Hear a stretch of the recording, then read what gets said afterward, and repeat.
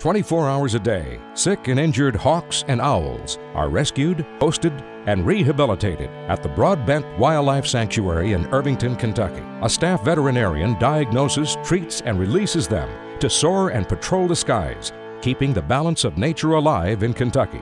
Your urgent donation is needed today to provide food, medical care, and a full time staff. Call now to make a tax deductible donation at 270 547 4200.